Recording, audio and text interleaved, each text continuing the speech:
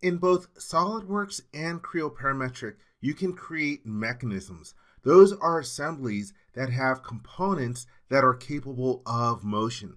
In an earlier video, like two or three years ago, I showed how to create a slider connection in Creo Parametric. That is a component with one translational degree of freedom.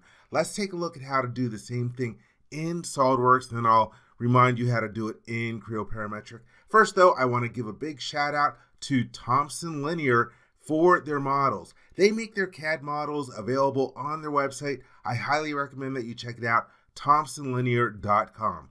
Okay, so I've got this linear actuator open on the computer screen. You can see it has a bunch of components. I just applied a couple colors to distinguish between them. To make things easier to select, I'm going to pick two of the components, right mouse click and choose isolate. So those are the only two that I see. And again, I want one translational degree of freedom for the rod end. And so, first off, when I brought this into SolidWorks, you'll notice that this component, the one that's supposed to be able to move, has an F in parentheses next to it.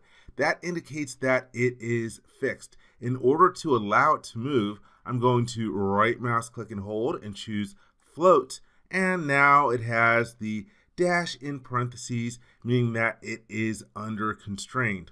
So to define the motion that I want, I'm going to add mates to this model. And let's go to the mate command. And here it opens up the property manager for it. I'm going to select this cylindrical surface and then pick this other cylindrical surface. And right now we have the concentric mate. That is good. Let's hit the check mark for that first one. And for this actuator, I don't want the rod end to be able to rotate. Let me go to the little eyeball icon for hiding and showing items. I'm going to hide and show the primary planes. And for the next selection, let's select this plane here. And then let's go to, I'm going to expand this inside of here. Oh, that's not actually the one that I want. Let me clear the selections. Let me go in the tree. Let me expand this one and let me choose the front plane out of the tree in the graphics area and then expand this one and I think it should be the same plane in that one. That is good. And here we are getting suggested a coincident mate. That's what I want. Let's hit the check mark. And so now we have one rotational degree of freedom left. Let's collapse the tree. I don't need to see it anymore. And let's also turn off the display of our primary planes. But even though it has the one rotational degree of freedom, I want to put some limits on the range of motion. So let's go to the advanced mates and underneath the advanced mates, we have something called a limit distance or a limit mate. And so I can click on this one and let's select our different references. Let me, oops. If I mess up moving around on the computer screen, it's because I use way too many different CAD programs. Let's select this surface and then select, oop, had it there for a second. Let me get, Again, pardon my awkwardness, that surface. And so we've got the two different surfaces selected. And for the minimum distance, I'm going to use a value of zero. I happen to know that this should be able to extend about 20 inches, which is about 500 millimeters. So let's enter that value for the limit mate and hit the check mark and collapse the tree again. Let's hit the check mark again to get out of the mates command. And now we can, oh, actually to get out of isolate, let's choose exit isolate. And so now I have the other components visible. And also if I want to see the motion, let's pick on the component. I can go to move component and then drag it. And so here you can see it through its range of motion. So that's how you get the one translational degree of freedom. Let's hit the check mark.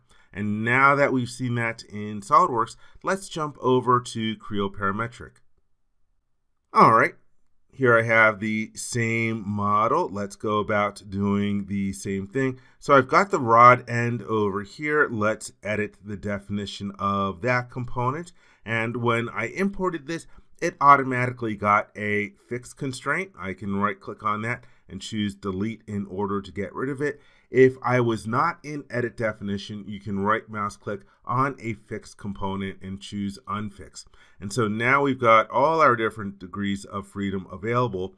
Instead of adding three individual mates, I can go to the connection type drop down list and these are our mechanism connections. These are different constraint sets. And for one translational degree of freedom, I'm going to choose a slider connection.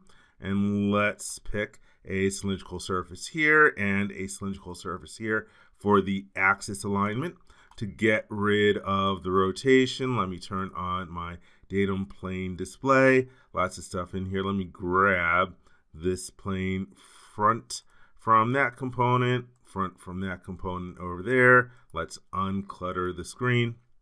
And that is everything in order to define the one translational degree of freedom. If you take a look at the 3D dragger, the red arrow is still available, indicating the available degree of freedom. But let's say I want to limit the amount of motion. To do that, I will go to translation, and then I can pick the different references I want to use for my zeros. So for example, let's select this surface and that surface over there. Right now, the distance is 0.44 apart from each other. And I can specify the minimum limit. I'll enter in a value of zero. And then for the maximum limit, for some reason, I think this might actually be in inches. Let me enter a value of 20 and then we can test the motion. Yep, that is good for the motion. And so now I'm happy. I can hit the check mark. And if I want to test the motion when I'm not in edit definition, I can go to the drag components icon and test the range of it. So there you have a quick and simple comparison of defining a mechanism connection for a translational degree of freedom in SOLIDWORKS and Creo Parametric. I hope you enjoyed this video. For more information, please visit www.creowindchill.com. If you learned something from this video, please give it a thumbs up. And if you like this video, please click the subscribe button and ring the bell to be informed when new videos are uploaded. Thank you very much.